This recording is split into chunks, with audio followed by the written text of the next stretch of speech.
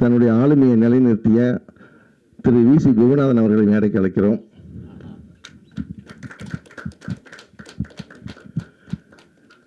அதே மாதிரி இன்றைக்கி இருக்கிற தலைமுறைக்கு சிவாஜி சார் கூட படம் பண்ணணும்னு நிறைய பேருக்கு ஆசை இருந்திருக்கும். ஆனால் அந்த ஆசையை லட்சியமாக சேர்த்து ரெண்டு படத்தில் நிறைவேற்றிட்டார். ஒன்று ஜல்லிக்கட்டு இன்னொன்று வாழ்க்கை படம். திரு சித்ரா லட்சுமணன் அவர்களை மேடைக்கு அழைக்கிறோம்.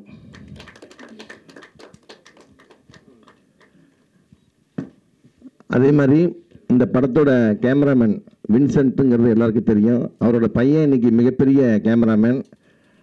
அவர் இந்த படத்தை பற்றி நம்மக்கிட்ட பேசுறதுக்கு வந்திருக்கிறார்.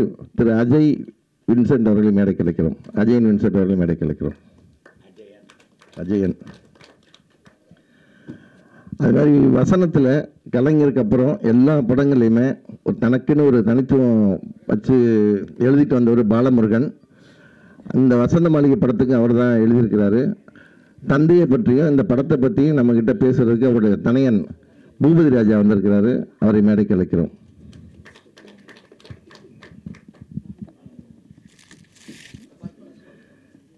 இன்னைக்கு இருக்கிற ஜென்ரேஷனுக்கு இந்த படத்தை கொண்டு போகணும். அதை டிஜிட்டலில் கொண்டு போய் லேட்டஸ்ட் மாடலாக கொண்டு வரணும்னு சொல்லிட்டு தன்னுடைய சீரடி சத்யசாய் ஃபிலிம் சார்பில் இதை வந்து ரிலீஸ் பண்ண தயாராக இருக்கிற பி நாகராஜா அவர்களை மேடைக்கு அழைக்கிறோம். இவர் சிவாஜி சாரோட தீவிர ரசிகர் அவர். இவர் தான் இந்த படத்தோட distributor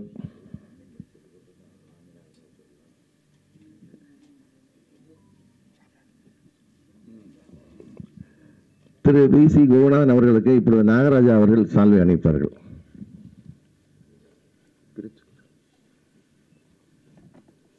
யூடியூப்லேயோ இல்லை டிவிலையோ தான் பார்த்துருப்பீங்க படத்தை.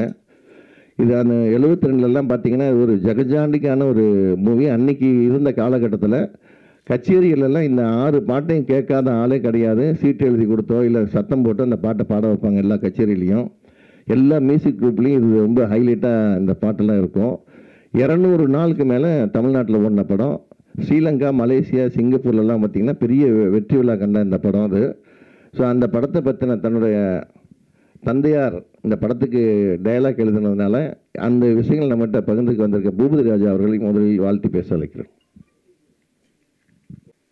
எனது அழைப்பை ஏற்று இங்கு வருகை புரிந்திருக்கும் இயக்குனரும் வசனகர்த்தாவும் தயாரிப்பாளருமான அண்ணன் திரு வி சி குகநாதன் அவர்களையும் தயாரிப்பாளரும் நடிகரும் இயக்குனருமான திரு சித்ரா லக்ஷ்மணன் அவர்களையும் இப்படத்தில் பணியாற்றிய கேமராமேன் திரு வின்சென்ட் அவர்களின் புதல்வர் திரு அஜயன் வின்சென்ட் அவர்களையும் இப்படத்தில் பணியாற்றிய வசனகர்த்தா திரு பாலமுருகன் அவர்களின் புதல்வர் திரு பூபதிராஜா அவர்களையும் மற்றும் பத்திரிகையாளர் நண்பர்களையும் தொலைக்காட்சி நண்பர்களையும் இணையதள நண்பர்களையும் மக்கள் தொடர்பாளர் திரு விஜயமுரளி அவர்களையும் மற்றும் எனது நண்பர் திரு பி வி முரளி அவர்களையும் வருக வருக என்று வரவேற்கின்றேன்.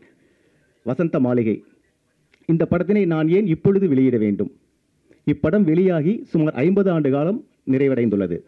இன்னும் நூறாண்டுகள் பேசப்போகும் காதல் காவியத்தின் அரை நூற்றாண்டு நிறைவை முன்னிட்டும். நடிகர் திலகத்தின் நினைவாளான ஜூலை இருபத்தி ஒன்று அன்று இப்படத்தினை தமிழகம் முழுவதும் சுமார் நூறு திரையரங்குகளில் வெளியிடுவதாக இருக்கிறேன். வசந்த மாளிகை. நான் ஏன் இப்படத்தினை டிஜிட்டலில் மறு மறு வெளியீடு செய்ய முற்பட்டேன் என்றால் பொதுவாக மக்கள் மனதில் ஒரு கருத்து நிலவி வருகிறது. அதாவது நடிகர் திலகத்தின் புராண படங்களையும் வரலாற்று படங்களையும் டிஜிட்டலில் மறு வெளியீடு செய்தால் மட்டுமே அந்த படங்கள் ஓடக்கூடும் என்ற கருத்து.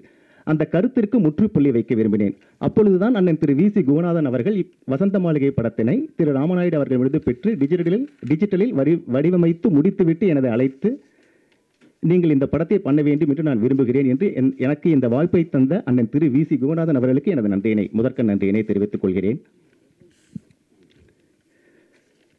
இப்படம் வெற்றி பெற தொலைக்காட்சி நண்பர்களும் பத்திரிகையாளர் நண்பர்களும் இணையதள நண்பர்களும் முழு ஆதரவு தர வேண்டும் என்று உங்களிடம் கேட்டுக்கொண்டு இப்படத்தை பற்றிய சுவாரஸ்யமான சம்பவங்களை நம்முடன் பகிர்வதற்காக இங்கே வந்திருக்கும் இப்படத்தில் பணியாற்றிய கேமராமேன் திரு வின்சென்ட் அவர்களின் புதல்வரும் வசனகர்த்தா திரு பாலமுருகனின் முருகன் அவர்களின் புதல்வரும் பேச்சை கேட்பதற்காக நானும் ஆவலாக இங்கு கூடியிருக்கிறேன் உங்களோடு ஒருவனாக. என்று கூறி விடைபெறுகிறேன். நன்றி வணக்கம். வந்திருக்கிற எல்லாருக்கும் என்னுடைய வணக்கம். இந்த ஸ்டேஜில் இருக்கிற பெரியவர் குருநாதன் சார் என்னுடைய முதல் வணக்கம் அவருக்கு. ஏன்னா நான் சைல்டு ஆர்டிஸ்டாக ராஜபாற்றங்குதிரை படத்தில் நடித்தேன் அந்த அம்மம்மா பாட்டு வரும் பார்த்தீங்களா அதில் நான் நடிச்சிருக்கேன். அந்த படத்தை எடுத்த தயாரிப்பாளர் அவர் தான் எனக்கு முதல் முதல் சம்பளம் கொடுத்தவர் ராஜபாற்றங்குவர் அது எங்கள் அப்பாவோட படம் தான் அது. கதை வசனம் அப்பாவோடது தயாரிப்பாளர் சார் அந்த படத்துக்கு. சித்ரா சாருக்கு என்னோடய வணக்கம் அஜய்க்கு என்னோடய வணக்கம். நாகராஜ் சார் ரொம்ப பேஷனேட்டாக இது பண்ணிக்கிட்டு இருக்காரு. ஸோ ஒரு ஃபிஃப்டி இயர்ஸ் செலிப்ரேஷனில் இந்த படம் வர்றது வந்து மிகப்பெரிய சிறப்பு. இப்போது பாலமுருகன் சாரோட சன்னா நான் இங்கே வரல. அவரோட ஃபேன் சிவாஜி சாரோட ஃபேனை தான் நான் பேச வந்திருக்கேன். பல விஷயங்கள் அப்பா இந்த படத்தை பற்றி பரிமாறி இருக்காரு. அது அடுத்த தலைமுறைக்கு பல பேருக்கு தெரியாது. அந்த ஜென்ரேஷனில் இருக்கிறவங்களுக்கு குணாலன் சார் மாதிரி இருக்கிறவங்களுக்கு சித்ரா சார் அவங்களுக்கு இவங்களுக்கு தான் தெரியும். மற்றவங்களுக்கு தெரியாது. அந்த விஷய விஷயத்தை I want to share with all of you first இந்த வசந்த மாளிகை படம் தெலுங்கில் வந்து கௌசல்யா அப்படின்றவங்க ஒரு நாவல் எழுதினாங்க. அந்த அதுதான் வந்து அங்கே வந்தது பிரேம் நகர்னு வந்தது. அதன் பிறகு தமிழில் வந்து டி ராமநாயுடு சார் தமிழில் பண்ணாங்க. இதுக்கு சிவாஜி சார் அப்பாவும் ஜாயின் பண்ணாங்க. அப்போது இந்த படத்தை எழுதுறதுக்கு அப்பா மறுத்துட்டார். பிரகாஷ் ராவ் சார்கிட்ட போய் சொல்கிறார் இந்த படம் நான் எழுத மாட்டேன் அப்படிங்கிறாரு. அதுக்கு பிரகாஷ் ராவ் சார் கேட்குறாரு ஏன்னு கேட்டப்போ அப்பாவுடைய படங்கள்லாம் எங்கள் ஊர் ராஜா? பட்டிக்காடா பட்டணமா ராமனித்தனே ராமன் ரெடின்னு பெரிய கதைகள் உள்ள படம். ஈவன் ராஜபாற்றங்குதிரை ஐயாவுடைய படம் ராஜபாற்றங்குதிரை எல்லாமே கதைகள் உள்ள படம். அப்போ போய் சொல்லியிருக்காரு வசந்த மாளிகையில் பெரிய கதையே இல்லையே. இதில் என்ன கதை இருக்குது இதை நான் எப்படி எழுதணும்? அப்படின்னும் போது the legendary director K S Prakash ராவ்ன்றவர் புரிய வச்சார். இது கதை கிடையாது மிஸ்டர் பாலமுருகன். இது டூ ஹார்ட்ஸ் ரெண்டு இதயங்கள். ரெண்டு இதயங்களோட சந்திப்பு. அவர்களுடைய இணைப்பு அவர்களுடைய பிரிவு அதுக்கப்புறம் அவங்க மறுபடியும் எப்படி சந்திக்கிறாங்க எப்படி சேர்றாங்கன்றது கதை. இதை நீங்கள் கதை நிறைய கதை பண்ணி நீங்கள் பழக்கப்பட்டவர். இதை அப்படி பார்க்காதீங்க. இதை ரெண்டு இதயமாக பாருங்கள் உங்களுக்கு எழுத்து வரும்னு சொன்னார். அதன் பிறகு தான் அப்பா ஒத்துக்கிட்டார். இதே டவுட் சிவாஜி சாருக்கும் இருந்திருக்கு.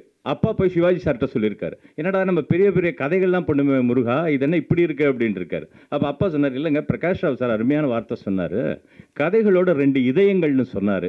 அதனால நம்ம எழுதுவோம்னு சொன்னார். அதனால தான் ஐம்பது வருஷத்துக்கு அப்புறம் கூட இன்றைக்கும் அந்த படத்தை பற்றி பேசிக்கிட்டு இருக்கோம்.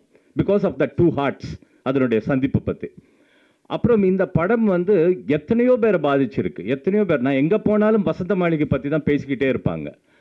இப்போ ஒன் லைனர்னு சொல்கிறாங்க பஞ்ச் டைலாக்னு சொல்கிறாங்க அது அப்போவே வசந்த மாளிகையில் எழுதப்பட்டது. பிரகாஷ் ராவ் அப்படி சொன்னதுனால தான் அப்பாவுக்கு அந்த ஒரு ஈடுபாடாக எழுத முடிஞ்சது. அதாவது மொ இந்த படத்தினுடைய ஒன்று ஒரு ஒரு நாள் நான் நான் வந்து ஃபுல்லாக தெலுங்கு இண்டஸ்ட்ரியில் ஒர்க் பண்ணியிருக்கேன் ஒரு தேர்ட்டி இயர்ஸாக தெலுங்கு இண்டஸ்ட்ரியில் ரைட்டராக இருக்கேன். அங்கே தான் ஒர்க் பண்ணிகிட்டு இருக்கேன் அப்படி ஏர்போர்ட்டில் ஒரு நாள் போகும்போது டி ராஜேந்தர் சார் பார்த்தார் என்ன. இவர் தான் பாலமுருகன் சார் சன் அப்படின்னு இன்ட்ரடியூஸ் பண்ணாங்க. வசந்த மாளிகை பற்றி பேச ஆரம்பித்தவர் ஃபஸ்ட்டு டைலாக்லேருந்து எண்டு டைலாக் வரைக்கும் சொல்லிக்கிட்டே இருக்கார். நானும் ஹைதராபாத் போக முடியல. அவரு கோயம்புத்தூர் இங்கே ரெண்டு பேர் ஃப்ளைட் மிஸ்ஸு சார் இந்த மாதிரி ஊருக்கு போகணுமே நான் அதில்லப்பா இது பெரிய விஷயம் பேசிக்கிட்டே இருக்கார். பேசி முடிச்சார் நான் நானும் மிஸ் பண்ணிட்டேன். அப்போ எவ்வளோ ஈர்ப்பு இருந்திருக்குன்னு தெரியுது. நான் நினச்சிக்கிட்டு இருக்கேன் அந்த தலைமுறைக்கு மட்டும்தான் அதுக்கப்புறம் நான் ஒர்க் பண்ணக்கூடிய இந்த ஜென்ரேஷன் பார்த்தா எல்லாரையுமே அது ஈர்த்திருக்கு. அப்போது இதனுடைய சாரம் வந்து ரெண்டு கேரக்டர் அவர் ரெண்டு இதயங்கள்னு சொன்னார் பார்த்தீங்களா? அது ரொம்ப முக்கியம். ஒரு நாள் நான் கமல் சாரை மீட் பண்ணியிருந்தேன். அப்போ அவர் உயர்ந்த உள்ளம்னு ஒரு படம் கிட்டத்தட்ட இதனோட சாயல் இருக்கும் அந்த படம். அந்த படத்தை பற்றி பேசும்போது கமல் சார் சொன்னார் அந்த இதில் தான் எடுத்தோம் ஆனால் வசந்த மாளிகை அளவுக்கு இல்லையே என்ன விஷயம் அப்படின்னு கேட்டார். அப்போ நான் சொன்னேன் எல்லாருமே ஒன்று புரிஞ்சுக்கிறாங்க ஒரு வார்த்தை கேட்டார் சிவாஜி ஏன் இப்படி பண்ண? அப்படின்றதுல தான் மொத்த படமே இருக்குது ஒரு வார்த்தை தானே அதே மாதிரி தான் நினைக்கிறாங்க. பட் அப்படி இல்லை. ஏன் இப்படி பண்ணன்னு கேட்கக்கூடிய பொண்ணோட கேரக்டர் என்ன? அது வடிச்சிருப்பார். அந்த கேரக்டரைசேஷன் இருக்கும். வா- வச வாணிஸ்ரீ அம்மாவோட எப்படி சிவாஜி சாருக்கு எவ்வளோ பெருமையோ அதுக்கு ஈக்குவல் வாணிஸ்ரீ அம்மாவோட கேரக்டர் அவ்வளோ ஈக்குவலாக இருக்கும். அதில் ஒரு சீனில் வந்து நிறைய இருக்க டைலாக் சொல்லிட்டே போகலாம் பட் நான் வந்து குறிப்பிட்டதை மட்டும் சொல்கிறேங்க அப்பா ஷேர் பண்ணிக்கிட்ட விஷயத்தை மட்டும் சொல்கிறேன் அது என்ன கேரக்டர் அப்படின்னா ஃபஸ்ட்டு ஃபஸ்ட்டு அந்த பொண்ணு வந்து இவர் இப்போ ஏர் இதில் பார்த்துருப்பார் ஏரில் ஃப்ளைட்டில் பார்த்துருப்பார். அப்போ ஃபஸ்ட்டு டைலாக்கே வந்து சார் உட்காருங்க அப்படின்னே இந்த பரந்த உலகத்தில் எங்கே என்னோட சீட் அப்படின்னுவார். இன்னொருத்தன் போய் வாணிஸ்ரீ மிஸ் மிஸ்ன்னுவான் வாழ்க்கையில் எதை மிஸ் பண்ணக்கூடாதோ அதை போய் மிஸ் மிஸ்ன்றி அப்படின்வார் அங்கே கிளாப் ஸ்டார்ட் ஆகுங்க. எண்டு எண்டு டைலாக் வரைக்கும் ஒரு ஒரு சீனுக்கும் இப்போவும் பார்க்குறேன். லாஸ்ட் டைம் இப்போ பலாசோவில் போய் பார்த்தேன். அப்போவும் அதே தான் எப் எத்தனை முறை பார்த்தாலும் அதே தான் அந்த ஹிட்டு அந்த இதுதான். அப்போ கேரக்டரைசேஷன் என்ன அப்படின்னா சார் அப்படிப்பட்ட ஒரு ஒரு விமனைசர் கேரக்டர் அவர். ஆனால் இந்த பெண் ஆபத்தில் இருக்கும்போது கெடுக்க வருவாங்க இவர் போய் காப்பாற்றுவார் அப்போ அவர் ஒரு வரி பேசுவார் சிவாஜி சார் அதாவது ஒரு பொண்ணு விரும்பிட்டா யாராக இருந்தாலும் நம்ம விடக்கூடாது. வெறுத்துட்டா அவள் விலைமாதா இருந்தாலும் தொடக்கூடாது அப்படின்வார் அந்த ஒரு டயலாக் தான் no if women say no it is no அப்படிங்கிறது இன்னைக்கு பிங்க் வரைக்கும் படம் வந்திருக்கு. இது ராஜேந்திர சார் கூட ஒரு இடத்துல குறிப்பிட்டார். அந்த அந்த அதனுடைய டயலாக் அதே மாதிரி அந்த பொண்ணு வந்து நெக்ஸ்ட் டைம் சிவாஜியை மீட் பண்ணும்போது சிவாஜி சாருக்கு மறந்துடுவார். அந்த பொண்ணை காப்பாற்றுனதே மறந்துடுவார். ஏய் வானத்தில் இருந்து நீ பூமிக்கு எப்போ வந்த? அப்படின்னுவார். அப்போ அந்த பொண்ணு வந்து பர்ஸில் பணம் கொடுக்கும். சிவாஜி சார் சொல்லுவார் இது வரைக்கும் எல்லாரும் பொண்ணுக்கு நான் தான் பணம் கொடுத்துருக்கேன். முதல் முறையாக ஒரு பொண்ணுகிட்ட பணம் வாங்குறேன் அப்படின்னுவார். அதாவது நான் ரொம்ப கெட்டவன்வார் அது அப்டர் ஸ்ட்ரெயிட்டாக இப்படிப்பட்ட ஒருத்தருக்கும் இவங்களுக்கும் நடக்கக்கூடிய லவ் தான் இந்த கதையை. அதில் இந்த அம்மாவோட கேரக்டர் என்ன அப்படின்னு சொன்னோம் பார்த்தீங்கன்னா பிஏவை வந்து ஒர்க் பண்ணியிருப்பாங்க சிவாஜி சார் கிட்ட. ஒரு நாள் நாகேஷ் சார் வந்து மது அருந்துறதுக்காக பணம் கேட்பார். ரொம்ப ரூடாக கேட்பார். இந்த அம்மா கொடுக்க மாட்டேன்னு சொல்லிடும்.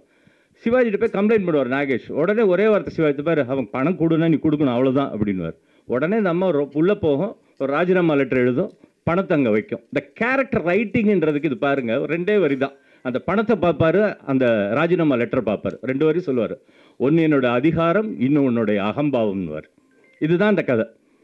எப்படிப்பட்ட இப்படிப்பட்ட ஒரு பொண்ணு இந்த பொண்ணை பார்த்து நீ ஏன் இப்படி பண்ணேன்னு கேட்பாரு இதுதான் முக்கியம். இது எல்லா ரைட்டர்ஸ்க்கும் சொல்லுவேன். நான் தெலுங்கு ஃபீல்டில் இருக்கிறதுனால அங்கே பர்ச்சுரி பிரதர்ஸ்னு பெரிய ரைட்டர் இருக்காங்க. அவங்க கூட இது இந்த சந்தேகத்தை கேட்பாங்க. அது ஒரு வரி தானேப்பா. அது சொன்ன அப்படிதான் நாங்கள் ஒரு படம் பண்ணோம் அப்படி இல்லை இல்லை சார் பிரகாஷ் ராவ்ன்ற ஒரு கிரேட் டைரக்டராக அந்த கேரக்டரை எப்படி வடிச்சிருப்பார்? உனக்கு உனக்கு வேலை வே உனக்கு எவ்வளோ பணம் வேணும்னு கேட்பார் சிவாஜி வேலை பார்க்குறதுக்கு. நான் என்ன வேலை பார்க்குறேனோ அதுக்கு சம்பளம் கொடுங்கன்னு வாங்க அப்படி ரோஷமான பொண்ணு அது. அந்த பொண்ணு அப்படிப்பட்ட கேரக்டர் பார்த்து தான் இந்த லவ் சப்ஜெக்ட் வருங்க. இதில் ஒரு இன்ட்ரெஸ்டிங்கான மேட்டர் என்னென்னா இப்போ வசந்த மாளிகனோட பார்லதா பார் பார்த்தீங்கல்ல இந்த வசனம் எப்படி உருவாச்சுன்ற ஒரு விஷயங்க. ஒரிஜினல் தெலுங்கு பண்ணும்போது சாங் தான் இருந்தது மயக்கம் என்ன பாட்டு தான் இருந்தது. இந்த டயலாக்ஸ்லாம் கிடையாது. அன்னைக்கு அப்பா செட்டுக்கு போயிருக்காரு. அப்போ செட்டை பார்த்துட்டு இந்த இடத்துல டயலாக் வேணும்னு அப்பா நினைக்கிறாரு. சிவாஜி சார்கிட்ட போய் சொல்கிறாரு இந்த இடத்துல டயலாக் வேணுமேன்ட்டு. அப்போ சிவாஜி சார் ஏன்னா பாட்டு எடுக்க போகிற முருகா? இப்போ எப்படின்னு அங்கேயே உட்காந்து எழுதினாருங்க. இந்த டைலாக்கை செட்டில் உட்காந்து காலையில் ஆஃப் அன் அவர் தான் இப்போ நீங்கள் பார்க்கக்கூடியது. இன்றைக்கும் அடுத்த தலைமுறை கூட இந்த டயலாக் பேசிக்கிட்டு இருக்கு. அந்த படத்தினோட மொத்த சாரம் அதுதாங்க. இந்த இந்த பட இந்த டயலாக் தான். ஏன்னா அந்த எழுதின அந்த கௌசல்யான்ற அம்மா கூட ஷாஜஹான் எப்படி மும்தாஜுக்காக தாஜ்மஹால் கட்டினானோ அதே மாதிரி ஒரு ஒரு விமனைசர் கேரக்டர் அவன் வந்து ஒரு fall in love with a girl அந்த பொண்ணுக்காக ஒரு வசந்த மாளிகை கட்டுறான். இந்த இடத்துல இந்த செட்டில் டைலாக் வேலுன்னு எழுதினார் ஃபாதர் அப்போ ஒரு கிரேட் எக்ஸ்பிரஷன் பாருங்கள் இப்போவும் பார்த்தா ஒரு இதாக இருக்குது தாஜ்மஹாலோட ஒரு படி மேலன்றார் அப்போ. இது இறந்து போன காதலிக்காக கட்டப்பட்ட கலரை அல்ல. உயிரோடு இருக்கும் என் காதல் தேவதைக்காக அமைக்கப்பட்ட வசந்த மாளிகை. இது சமாதி அல்ல சந்நிதின் இருப்பார். அது அது வந்து சமாதி. இது சந்நிதின்வார் ஸோ என்ன எக்ஸ்பிரஷன் பாருங்கள் ஸோ இந்த மாதிரி ஒரு ஒரு டெப்த்தான ஒரு கேரக்டர் இப்படிப்பட்ட ஒரு லவ் இதில் இவங்களுக்குள்ள ஒரு கேள்வி கேட்டு ஏன் நகையை எடுத்தன்ற ஒரு கேள்வி கேட்டு தான் படமே என்னை பார்த்து இப்படி கேட்டுட்டாரு. கடைசி வரைக்கும் இதுதாங்க. கடைசி எண்டு வரைக்கும் வரமாட்டான் அவகிட்ட பிடிச்சதே எனக்கு அந்த பிடிவாதம் தான் சொல்லுவார் சிவாஜி. குடிச்சிக்கிட்டு இருந்தவரை ஸ்டாப் பண்ணிடுவாங்க நம்ம இதுக்கப்புறம் கு- அப்படி ட்ரிங்கை ஸ்டாப் பண்ணிட்டா ஒரு பாதிப்பு வரும். அப்போ டாக்டர்கிட்ட போவார். அப்போ டாக்டர் கேட்பார் சிவா சிவாஜியை பார்த்து உங்களுக்கு குடிக்கிற பழக்கம் இருக்கோ அப்படின்னுவார். பெருங்குடியில் பிறந்தவனா குடிக்காமல் எப்படி இருக்க முடியும்னுவார் அப்போ இப்போ ஏன் நிறுத்திட்டீங்க அப்படின்னா உங்களுக்கு நிறுத்த சொன்னது யார் அப்படின்னா ஒரு லேடி டாக்டர்னுவார் இது பிரகாஷ் ராவ் சாருக்கு ரொம்ப பிடிச்ச டைலாக்குங்க இருந்தது. ரொம்ப ஒரு ஒரு லேடி வந்து எப்படி மாற்றினாங்கன்றது பின்னாடி இவர் குடிக்கணும்னு சொல்லி அந்த அம்மா வந்து மறுபடியும் தண்ணி எடுத்துகிட்டு பிராண்ட் ஒயின் எடுத்துகிட்டு வந்து கொடுப்பா.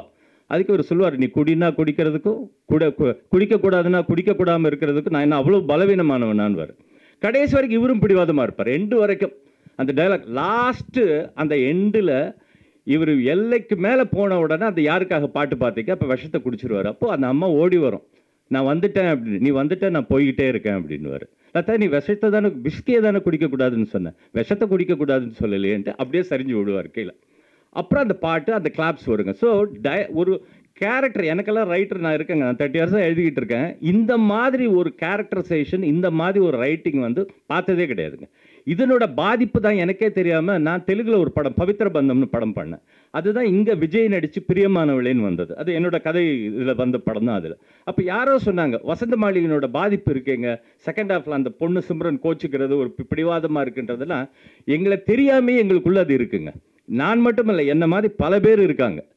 இப்போ ஃபைனலாக சொல்லிக்கிறது என்னன்னாங்க? இந்த படத்தை பற்றி எங்கள் ஃபாதர் வந்து இப்போ தான் சமீபமாக தான் மறைஞ்சார் ஜான்வரி 15th அப்போ தான் அப்போது அவருக்கு ஒரு ஒரு மாதிரி ஃபெயிண்டில் இருப்பார். அவரை உற்சாகப்படுத்தணும்னா சிவாஜி சாரை பற்றி தாங்க பேசணும். பேசிட்டா எந்திரிச்சு உட்காந்துருவார் அப்போ நாங்கள் மாத்திரை கொடுப்போம். சிவாஜி சார் மட்டும் பற்றி தான் பேசினா தான் கொஞ்சம் உற்சாகமாவார். எனக்கு ரெண்டு டாட்டர்ஸ் இருக்காங்க. இப்போ நான் ரைட்டர் அங்கே ஆந்திராவில் இருக்கின்றதுல அவங்களுக்கு தெரியும். ஆனால் வீட்டில் தாத்தாவை பற்றி அவங்களுக்கு தெரியாது. ஒரு வயசானவர் வீட்டில் இருக்காருன்னு நினச்சாங்க. லாஸ்ட் டைம் சார் அந்த படத்தை ரிலீஸ் பண்ணப்போ பலாசோக்கு நான் டூ டாட்டர்ஸ் கூட்டிகிட்டு போயிருந்தேன் வித் மை ஒய்ஃப் படம் போய் பார்த்தோம். ஒரு ஒரு வரிக்கும் கை தட்டிக்கிட்டே இருக்காங்க. என் டாட்டர்லாம் ஷாக்கு இந்த ஜென்ரேஷனை இப்படி பார்க்குறாங்களே. அதில் ஒரு டைலாக் இது ஏதோ ஒரு டைலாக் இந்த லாஸ்ட் டைலாக் வரும்போது யாரோ கீழே இருந்து ஒரு ஆள் பாலமுருகான்னு கத்துறான்.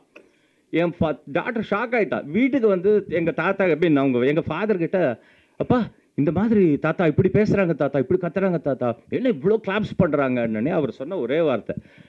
என்ன இதாக சொல்கிறார் மூணு டைலாக் என் டைலாக் இல்லைம்மா அது அவர் உச்சரித்தப்போ அப்படி ஆச்சுன்னுவார். நான் அதான் சொல்லுவேன் சார் எங்கே மற்ற எந்த கலைஞர் இருந்தாலும் சரி அந்த சிவாஜி சார்கிட்ட இருக்கிற பெரிய பெருமை அவரோட தொப்பி அவர் கையில் வச்சுருக்க குச்சி இதில் பார்ப்பீங்க ஷால்வை இது எல்லாமே நடிக்கும். அவர் ஒரு பொருளை தொட்டால் அந்த பொருளுக்கு மோட்சம் வரும்னு நான் சித்ரா சாருடைய பேட்டியில் சொல்லியிருந்தேன். நிறைய பேர் சொன்னாங்க அப்படிப்பட்ட ஒரு கலைஞர். அதாவது அந்த பொருளுக்கு மோட்சம் வரும். சார் பார்க்குற நம்ம உறைஞ்சு போயிடுவோம் we become a stone it becomes a life அப்படிப்பட்ட ஒரு மகா கலைஞன் ஒரு கூட்டு முயற்சியில் இந்த வெற்றி சார் பிரகாஷ் ராவுண்டர் மிகப்பெரிய டைரக்டர் அதே மாதிரி வின்சென்ட் சார் ஒண்டர்ஃபுல் கேமராமேன் நீங்கள் இப்பவும் பார்க்கலாம் அந்த லைட்டிங் அந்த பேட்டர்ன் இன்னைக்கெல்லாம் ஹை டிஜிட்டல் இன்றைக்கி என்னென்னமோ சொல்கிறாங்க சார். அந்த டைமில் எப்படிப்பட்ட ஒரு கேமரா என்ன ஒர்க்கு அதே மாதிரி மகாதேவன் சாரோட சாங்கு கண்ணதாசன் சாரோடைய பாட்டு ஸோ காம்பினேஷன் சார் அது. மொத்த வெற்றிக்கு ஒரு ஒரு காம்பினேஷனாக இருந்தது. அந்த படத்தை சுரேஷ் ப்ரொடக்ஷன்ஸ்லேருந்து வாங்கின குணாலன் சாருக்கு நன்றி. அதை நாகராஜ் சாருக்கு கொடுத்துருக்காரு அது நன்றி. இந்த தலைமுறை மட்டும் இல்லை இன்னும் இப்போ நான் என் டாட்டர்ஸை கூட்டிகிட்டு போவேன். நாளைக்கு என் பேத்தியும் கூட்டிகிட்டு போவேன். அது வசந்த மாளிகை ஒன்றுக்கு தான் அந்த ஒரு பவர் இருக்குது ஸோ இதை செஞ்சு அவங்களுக்கு என்னோட நன்றியை தெரிவிச்சுக்கிறேன். So thank you one second sir thanks for you thank you thank you அடுத்ததாக அஜயன் சென்றவர்கள் எல்லோருக்கும் அஹ், மாலை வணக்கம். மேடையில் இருக்கும் Gonathan sir Chitralakshman sir Boopathy and uh, Nagaraj car Vasantha Maligai it's a timeless love story and அது வந்து இன்னொரு ஹண்ட்ரட் இயர்ஸ் வரலாம் அப்படியே நீடிச்சு நிற்கும். ஃப்யூச்சர் ஜென்ரேஷன்ஸும் பார்த்து they should enjoy this film இது பற்றி மெயின் இதுன்னா என்னோடய சைடில் நான் ஒரு பத்து வயசு இருக்கிறப்போ செட்டுக்கு போயிருக்கேன். இந்த வசந்த மாளிகை ஷூட்டிங் அட்டென்ட் பண்ணியிருக்கேன். ஜஸ்ட் ஸ்கூல் முடித்த அப்புறம் அப்பாவை பார்க்குறதுக்காக செட்டில் போயிருக்கேன். ஐ திங்க் இந்த யாருக்காக சாங் தான் பண்ணிகிட்டு இருந்தாங்க அப்போ. ஸோ அப்படி ஒரு கிராண்ட் ஹியூஜ் செட்டை வந்து லைட் பண்ணுன்றது நான் லைஃப் டைமில் யோசிக்கவே இல்லை அந்த மாதிரி இது. But somewhere by God's grace நானும் அந்த சேம் ப்ரொஃபஷனில் வந்துட்டேன். அண்ட் uh, இப்போ யோசிக்கிறப்போ அந்த அந்த காலத்தில் அந்த டெக்னாலஜியை வச்சுட்டு எப்படி தான் அது பண்ணாங்கன்றது ஆச்சரியமாக இருக்குது. So I think will dedicate this film to the full team of K S Prakash Rao garu and all of them thank you நான் ஜாஸ்தி பேசுகிறது இல்லை தேங்க்யூ அன்பிற்குரிய ஊடக நண்பர்களுக்கும் மேடையிலே அமர்ந்திருக்கின்ற என்னுடைய இனிய நண்பர் முகநாதன் திரு அஜயன் வின்சன் திரு பூபதி ராஜா இந்த படத்தை வெளியிடுகின்ற அரிய வாய்ப்பினை பெற்றுள்ள நாகராஜ் எல்லோருக்கும் என்னுடைய இனிய மாலை வணக்கத்தை பதிவு செய்கிறேன். இந்த வசந்த மாளிகை அப்படின்னு சொன்னோன்னே எல்லாருக்கும் பல தரப்பட்ட நினைவுகள் வரும். பொதுவாக கதாபாத்திரங்கள் பார்த்திங்கன்னா நமக்கு பிடித்த கதாபாத்திரங்களை நடித்த நடிகர்களை நமக்கு பிடிக்கும். ஆனால் சிவாஜிக்கு மட்டும்தான் அது வித்தியாசம். சிவாஜி எந்தெந்த பாத்திரங்கள் நடிக்கிறாரோ அந்த பாத்திரங்கள்லாம் நமக்கு பிடிக்கும். அப்படி அந்த பாத்திரத்துக்கு ஜஸ்டிஃபை பண்ணக்கூடிய ஒரு அற்புதமான ஆற்றல் பெற்றவர் தான் சிவாஜி. இல்லைன்னா இத்தனை ஆண்டுகளுக்கு பின்னாலே இந்த படம் இப்படி ஒரு மறு வெளியீட்டை சந்திக்காது. இது மறு வெளியீடாக இருந்தால் பரவாயில்ல. ஏற்கனவே இதை வெளியிட்டார். மறு கவுண்டமணி ஒரு படத்தில் சொல்கிற மாதிரி மறுக்கா மறுக்கா மறுக்கா வெளியிட்டுக்கிட்டே இருக்கலாம் அந்த படத்தை எப்போ வெளியிட்டாலும் பூபதி ராஜா இங்கே குறிப்பிட்ட மாதிரி இந்த படத்தை பார்க்க ரசிகர்கள் திரண்டு வருவார்கள் அப்படின்றதுல சந்தேகம் இல்லைன்னா அப்படிப்பட்ட ஒரு உணர்ச்சி பூர்வமான ஒரு காவியம்தான் இந்த படம்.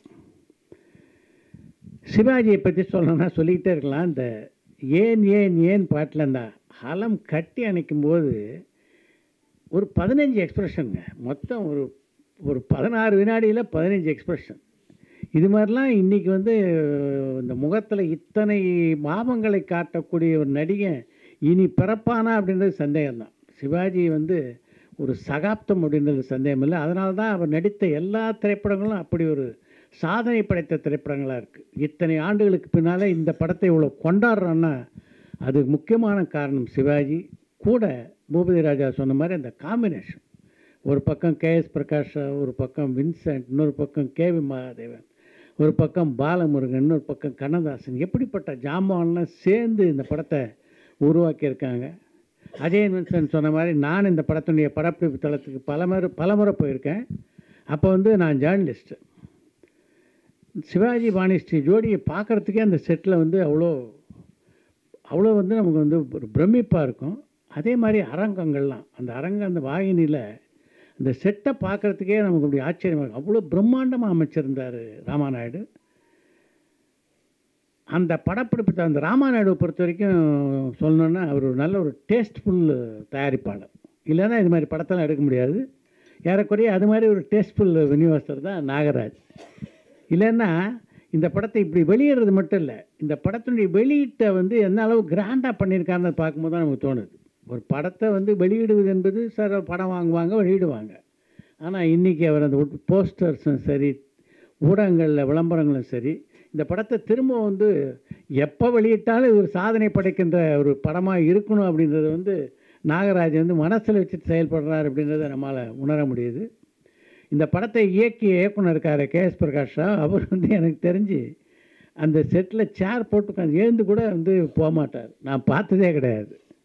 ஆனால் அந்த படத்தை பார்த்தீங்கன்னா எப்படிப்பட்ட ஒரு இளமையை துள்ளுகின்ற ஒரு காவியம் ஒரு பக்கம் இன்னொரு பக்கம் நம்முடைய நெஞ்சை உருக்குகின்ற ஒரு காட்சிகள் ஒரு பக்கம். இப்படி ஒரு உணர்ச்சிகரமான ஒரு கலவையாக இந்த படத்தை கொடுத்துருக்காருன்னா அவர் எப்படிப்பட்ட விஷுவல் இமேஜினேஷன் உள்ள ஒரு நபராக இருக்கணும். அவர் மைண்டுக்குள்ளேயே இந்த படம் ஓடி இருந்தால் வழி இப்படிப்பட்ட ஒரு அற்புதமான படத்தை தந்திருக்க முடியாது. இந்த திரைப்படத்தை பொறுத்த வரைக்கும் ஏற்கனவே பல சாதனைகளை படைத்த படம் தான் இன்னும் திரும்ப அது போன்ற சாதனைகளை இந்த படம் படைக்கும் நிச்சயமாக ஒரு மிகப்பெரிய வந்து ஒரு நல்ல ஒரு பொருளாதார ரீதியாக ஒரு நல்ல லாபத்தை நாகராஜுக்கு பெற்றுத்தர வேண்டும் என்று வேண்டி விடைபெறுகிறேன். வணக்கம். வணக்கம். விசி குகநாதன் அவர்கள்.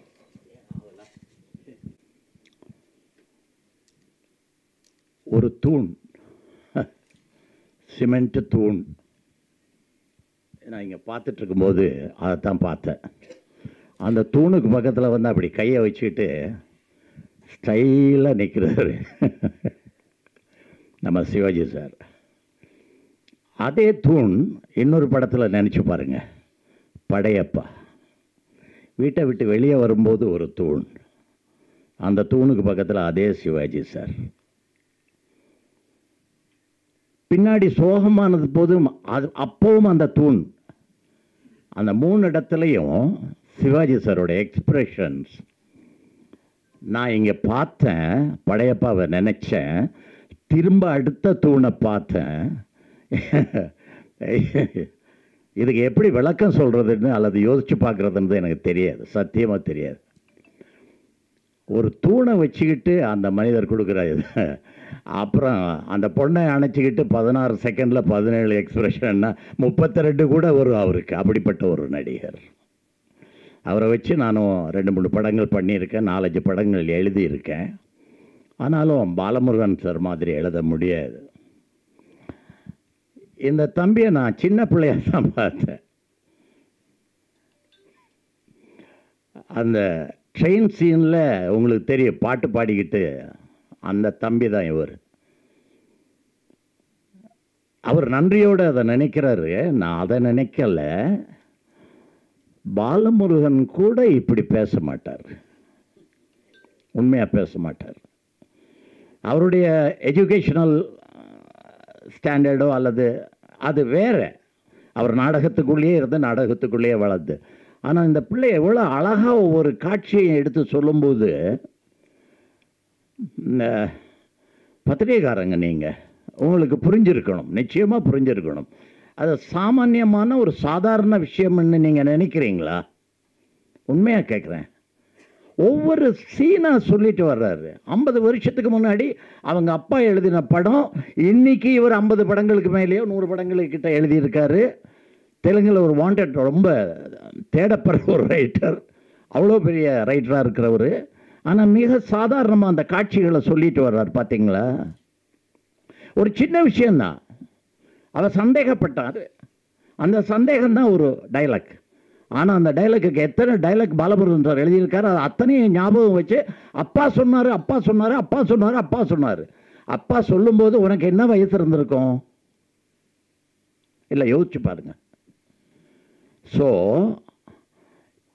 இங்கே ஒரு விதை விருட்சமாகி இருக்கு. அது வளரப்போகிற இடம் இனி உயரம் தெரியாத அளவுக்கு வளரப்போகுதுன்னு என் மனசில் படுது.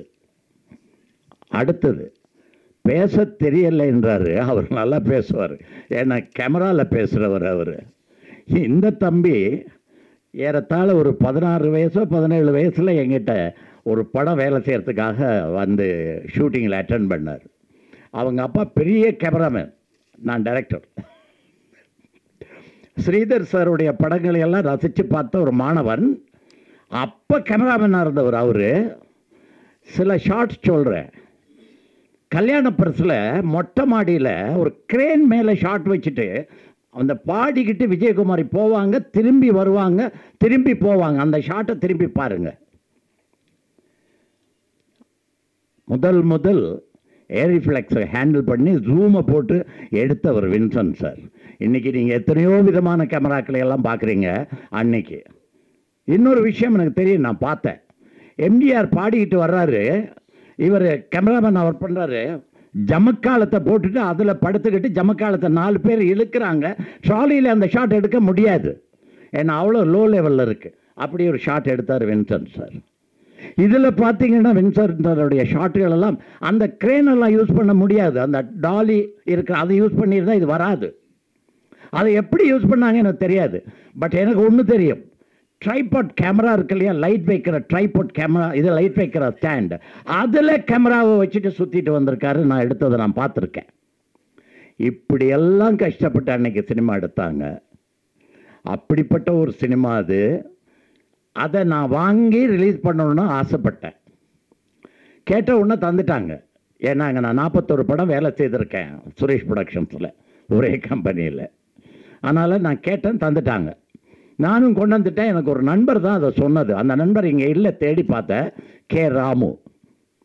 அந்த ராமு தான் சொன்னார் சார் அந்த படத்தை வாங்கினா நம்ம டிஜிட்டல் பண்ணலாம். திருப்பி ரிலீஸ் பண்ணுறதுக்கு ரொம்ப பிரமாதமாக இருக்கும்னு சொன்னாங்க. சரின்னு நான் சுரேஷுக்கு ஃபோன் பண்ணி இந்த நான் பண்ண படங்கள் இருக்குது தனிக்காட்டு ராஜா மைக்கேல் ராஜ் கைநாட்டு இந்த மதுரை கீதம் இந்த மாதிரி படங்கள். இதில் மூணு படம் எனக்கு வேணும்னு கேட்டேன். வசந்த மாளிகை தனிக்காட்டு ராஜா மைக்கேல் ராஜ். முனையமே கொடுத்துட்டாங்க. முதல்ல நான் இதை எடுத்துக்கிட்டேன். ஏன்னா இந்த படத்தின் போது தான் எனக்கு ராமநாயுடு சாருடைய நட்பு கிடைச்சிது. அது அங்கே ஷூட்டிங் நடக்கும்போது இங்கே நான் ராஜபட்ராங்குதர் ஆரம்பிக்கிற டைம் அவர் நாகிரெட்டியாரோட பார்ட்னர்ஷிப்பில் பண்ணுறாரு நான் ஏவிஎம் செட்டியாரோட பார்ட்னர்ஷிப்பில் பண்ணுறேன் என்ன வித்தியாசம்னா அவருக்கு ஒரு முப்பது முப்பத்தி ரெண்டு வயசு இருக்கும். எனக்கு வந்து ஒரு இருபது வயசு இருக்கும். ஆனால் நாங்கள் நண்பர்களானோம். அதுக்கப்புறம் அவருக்கு நான் நிறைய படம் பண்ணேன். இதில் அந்த மூவி மோகலுங்கிற இதை நான் தான் உருவாக்கி அதை போடணும்னு நினச்சேன் போட்டேன். அதெல்லாம் பண்ணிகிட்டு இருக்கும்போது முரளி சார் வந்தார். என்எஸ்சியில் பெரிய டிஸ்ட்ரிபியூட்டர் அப்போ. அவர் வந்தார் வந்து இதை பற்றி பேசிகிட்டு இருந்தார். அவர் தான் மிஸ்டர் நாகராஜை கூட்டிகிட்டு வந்தார். இந்த நாகராஜ் சாருடைய ஆசையை பார்த்தேன். என்னன்னு கேட்டால் வந்து பேசும்போதே அவர் சொல்கிறாரு எப்படியாவது ஒரு சிவாஜி சார் படத்தை ரிலீஸ் பண்ணணும்னு எனக்கு ஆசை. அதுலேயும் வசந்த மாளிகைன்னா ரொம்ப பிடிக்கும். நான் செலவு பண்ண பணத்தை விட கொஞ்சம் அதிகமாக வச்சு அவருக்கு கொடுத்தேன். அவரும் நிறைய பணம் சம்பாதிக்கலை. ஏன்னா எனக்கு தெரியும். அவர் செலவு பண்ண பணம் அதிகம். ஏன்னா சிவாஜி சாருடைய ஒரு ஃபேன் இப்படிப்பட்ட ஒரு ஃபேன் அந்த படத்தை ரிலீஸ் பண்ணணுங்கிறதுக்காக அவர் பண்ணியிருக்கிற விளம்பரங்களும் பண்ணியிருக்கிறதும் பார்த்தா ராமாநாயுடு தெருக்கு ஈக்குவலாக அவர் அதனுடைய ரீரிலீஸ்களை பண்ணியிருக்கார். அதனால தான் அந்த படம் அல்பர்ட் தியேட்டரில் நூறு நாள் ஓடிச்சது. அது பெரிய விழா கொண்டாடினாங்க அந்த விழாக்களில் நானும் கலந்துக்கிட்டேன் நான் நாகராஜ் சார் வந்து சிவாஜி சார் ஃபேமிலின்னா அவ்வளோ அட்டாச்மெண்ட் வச்சுருக்காரு. உண்மையாக அன்னைக்கு ராம்குமார் வந்திருந்தார். அவர் தன்னுடைய காரில் இவர் ஏற்றிக்கிட்டு போனார். அப்படி தானே சார்? அந்த அளவுக்கு இந்த படத்தை ப்ரமோட் பண்ணுறாரு இப்போவும் புதுப்படங்களுக்கு கூட இப்படி பண்ண மாட்டாங்க. இங்கே பாருங்கள் இந்த மாதிரியெல்லாம் நிறைய பண்ணி பத்திரிகைகளில் எத்தனை விளம்பரம்? ரேடியோவில் ஐ மீன் சாரி சேட்டலைட்டில் டிவிஎஸில் எத்தனை விளம்பரம்? அதெல்லாம் பண்ணி அப்படி பண்ணுறாரு அதனால் அவருக்கு இந்த படம் பெரிய வெற்றியை கொடுக்கணும். அது இல்லாமல் சிவாஜி சாரை இன்னும் நூறு ஆண்டுகள் கொண்டு போகக்கூடிய ஒரே படம் இதுதான் நான் நினைக்கிறேன். பல படங்கள் இருந்தாலும் கூட இந்த படத்தில் அவர் பூபதி ராஜா சொன்ன மாதிரி இருக்கிற ஒவ்வொரு வசனங்களும் சிந்தித்து பார்க்க வேண்டிய வசனங்கள் அவ்வளோ அழகான வசனங்கள் பாடல்கள். அது ஆத்திரையா எழுதுகிறார் தெலுங்கில். ஆத்ரேயா சார் வந்து ஒரு பெரிய ரைட்டர் பெரிய ரைட்டர் அவர் எழுதின வ- பாடல்களுடைய சில வரிகளை கண்ணதாசன் சார் புரிஞ்சுக்கிட்டு இதை இப்படி எழுதலாம் என்று சொல்லி அந்த வரிகளை கூட கையாடல் பண்ணார். ஏன் நான் கையாடல் இந்த வார்த்தையை சொல்கிறேன்னா களவாடல் வேற கையாடல் வேற. இப்போ நிறைய டைரக்டர்கள் களவாடல் பண்ணுறாங்க அது வேற. ஒரு படம் கொரியன் படம்னா அதை நம்ம தமிழில் பார்ப்போம். அப்படியெல்லாம் இருக்குது ஆனால் எல்லாரும் என்று சொல்லலை சில பேர். ஆனால் அன்னைக்கு கையாடல் என்பது கருத்தை மட்டும் எடுத்துக்கொண்டு அதை டெவலப் பண்ணுறது அப்படி பண்ணியிருக்காரு பாடல்களில். அவர் செய்த ஒரு விஷயத்த சொல்கிறேன் அது ரொம்ப கேவலமான விஷயம். என்னை பற்றின கேவலமான விஷயந்தான் ஆனாலும் நான் சொல்கிறதுக்கு வைக்கப்படல பயப்படலை. ஆத்திரையாங்கிற அவ்வளோ பெரிய ரைட்டர் நாகேஸ்வரா சார் வாணிஸ்ரீ எழுதுகிற நடிக்கிற ஒரு படம். அதுக்கு முன்னாடி ஒரு விஷயம் சொல்கிறேன் இது கௌசல்யாங்கிற ரைட்டர் எழுதினாங்கன்னு சொன்னாங்க. கௌசல்யா தேவி அவங்க பேர். அந்த கௌசல்யா தேவி எழுதின நாவலை வச்சுக்கிட்டு ஒரு ரெண்டு வருஷமாக ராமாநாயுடு சுற்றிக்கிட்டே இருக்கார்.